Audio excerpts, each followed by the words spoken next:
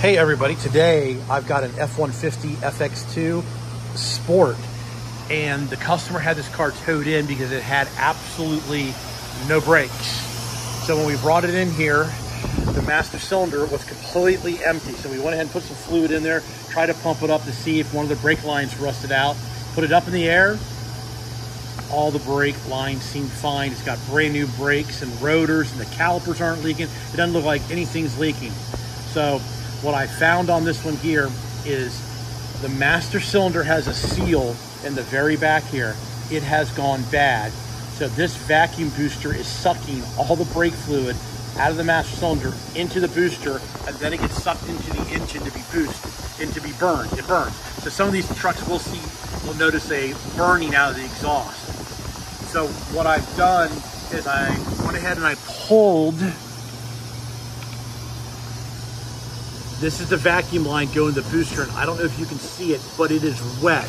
There's also a grommet. Here is the grommet, and you can see it is liquid there. So what I've done is I've gotten my my vacula out, and I and look at the line.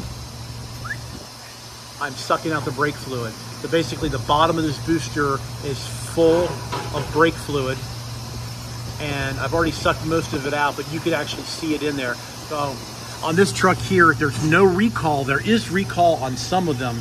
The booster seems to be working okay on this one. Some people say you should replace the booster.